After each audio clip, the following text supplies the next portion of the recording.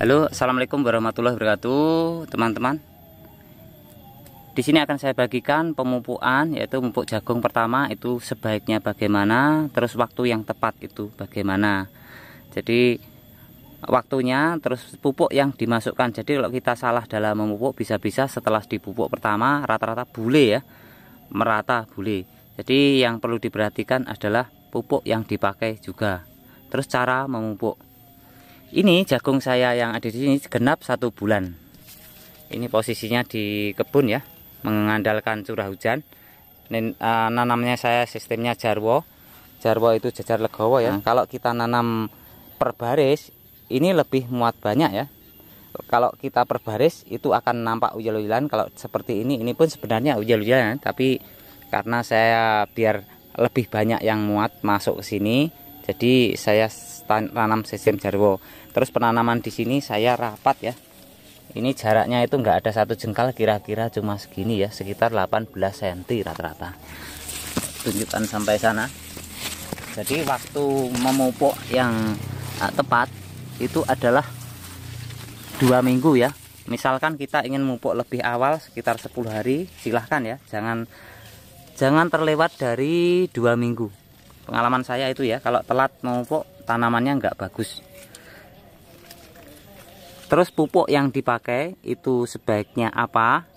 Jadi kalau pupuk itu sebaiknya kalau saya eh, kalau musim hujan seperti ini jangan mengandalkan urea saja. Kalau kita pupuk urea saja unsur N yang terlalu tinggi itu menyebabkan tanaman jadi rawan terkena penyakit termasuk eh, bulit. Jadi sebaiknya kita tambahi dengan NPK NPK itu apa? Kalau NPK kalau di apa itu? Kalau secara uh, subsidi itu adalah Ponska. Tetapi kalau pon Ponska yang saya perhatikan di forum-forum ya itu saya lihat Ponska itu banyak yang rancu banyak yang bingungkan. Karena sebenarnya itu adalah pembenah tanah tetapi uh, nulis nulisnya itu mirip-mirip Ponska. Jadi sebaiknya kuncinya perhatikan ada tulisannya unsur N P dan K. Itu tertulis 16 16 16 ya. Kalau eh, teman-teman uh, beli NPK jadi itu saya mempunyai saran sebaiknya beli yang ada unsur mikronya. Jangan unsur N P dan K. Ada unsur mikro itu seperti zinc seperti boron magnesium.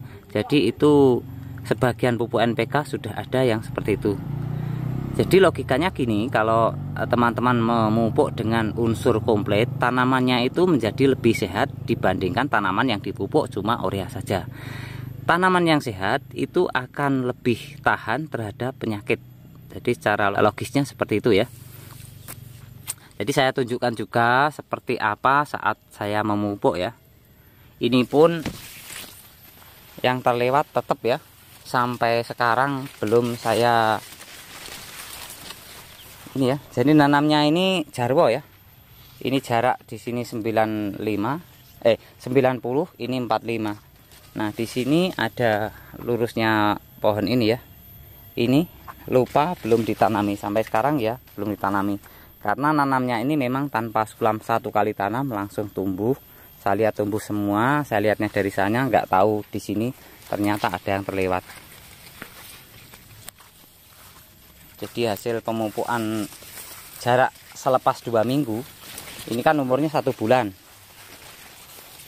Genap uh, satu bulan itu empat minggu ya. Jadi dua minggu yang lalu saya pupuk pupuknya sudah uh, meresap dalam tanah sudah dimakan oleh uh, akar jagung ya. Jadi jagungnya sudah lumayan sudah sudah bagus memupuk jangan sampai telat pupuk yang dipakai juga. Terus tambahan lagi pupuk itu perbedaannya kalau kita e, mupuknya di luar dengan yang ada di kita lanji ya. Kita lanji ya kita lanji. Ini bekas lanjian ya. Kalau kita lanji dalam tanah pupuknya terdapat e, tersimpan di dalam tanah itu lebih bagus dibandingkan yang ada di luar. Penjelasannya gini ya waktu pohonnya ini kecil jadi panas terik masih bikin ini tanahnya kering ya. Jadi tanahnya kering kalau pupuknya di luar itu akan menguap. Jadi pupuknya bisa menguap ya. Terus kalau curah hujan tinggi karena hujan pupuknya akan larut terbawa air hingga ke merata ke mana-mana. Berbeda dengan pupuknya ditanam di dalam tanah itu pupuknya akan tercampur dalam tanah di sekitar situ saja. Jadi pupuknya akan tahan lebih awet dikonsumsi oleh tanaman jagung. Jadi bedanya yang di luar dengan di dalam tanah itu perbedaannya lebih tahan dan kita nggak perlu sering-sering memupuk dibandingkan yang ada di luar. Jadi pilihannya bisa kita gejruk pupuk kita masukkan diuruk ya. Terus yang kedua pupuknya bisa kita lempar di luar. Jadi seperti ini ya lepas itu kita cangkul ya cangkul diuruk seperti dangir. Terus ini sudah saya siapkan pupuknya ya. Jadi pupuknya itu campuran antara urea dan NPK jadi untuk pertumbuhan seperti ini saya menggunakan ureanya dua NPK nya satu. Malah lebih bagus lagi jika menggunakan ureanya satu NPK nya satu ya. Tapi kalau bagi saya terlalu mahal. Ter, e, karena NPK yang saya pakai NPK yang bagus ini ya ada unsur mikronya. Terus pemupukannya itu enggak ter, enggak enggak perlu banyak ya teman-teman ya. Jadi tiap lubang ntar saya ambilkannya agak susah ngambilnya. Nah tiap lubang itu cuma segini tetapi tertanam di dalam tanah. Jadi cuma segini ya tiap saya uh, tiap mupuk itu.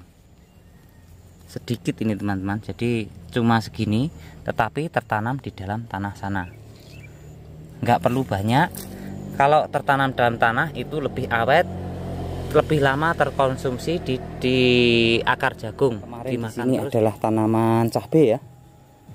Nah, sampai sini, ini cabai.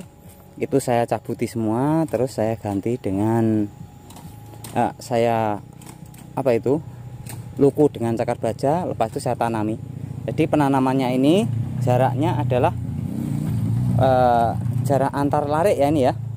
Ini 90, terus di sini adalah 45 ini sistem yang saya pakai adalah sistem jarwo jajar legowo.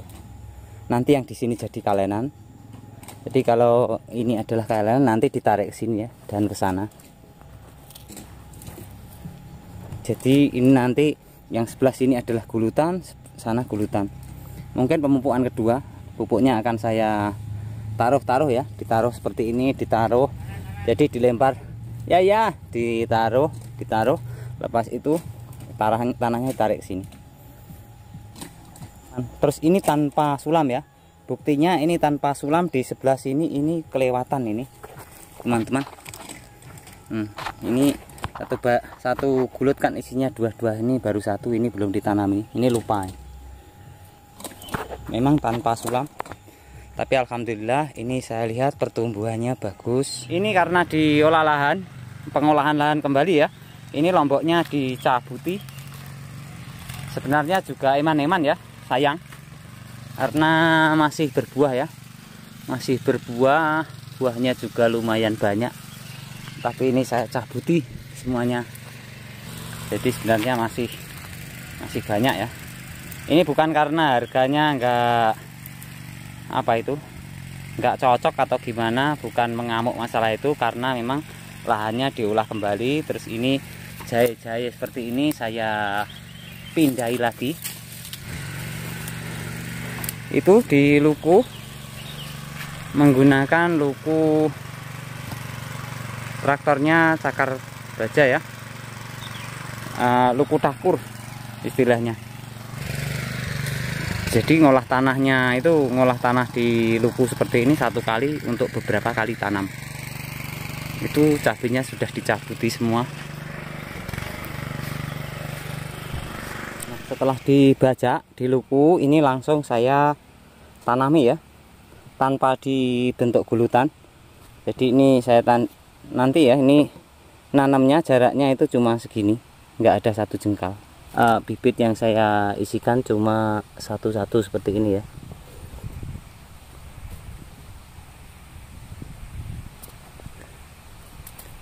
Terus karena di sini kemarin ini pernah ada hama uret yang saya pakai adalah uh, urupnya ini organik dicampur dengan tanah uh, basah.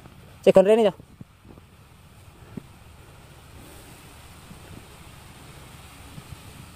dicampur dengan tanah basah.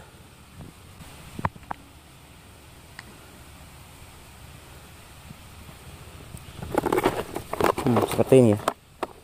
Terus ini saya taburi sedikit di uh, furadan saya beli furadan bukan biasenon yang saya uh, campurkan. Ini saya campurkan pada bagian untuk penutup. Jadi kalau sudah lubang seperti ini ini ditutupi tanah. Ya cuma sedikit gini aja jadi prosesnya hampir sama ya. Kalau di biji jagung ini ini kan sudah saya beri obat ya. Kalau jadi cambah obatnya akan meresap ke dalam hmm, biji jagung tersebut. Terus yang ini ini adalah uh, tanah yang saya campur dengan organik. Kalau organik saja itu cepat kering kalau saya campur tanah itu agak lama ya tahan lembab untuk mempermudah pertumbuhan. Nah itu pula nanti yang akan dimakan oleh kecambah jagung hingga sampai satu jengkal kira-kira daun 4 ya. Itu suplai makanannya eh, makanannya dibantu oleh ini oleh pupuk organik tersebut. Jadi nguruknya sedikit-sedikit segini-segini aja. Itu sudah cukup membantu. Ini keringetan pada tak? tak rapi. Iya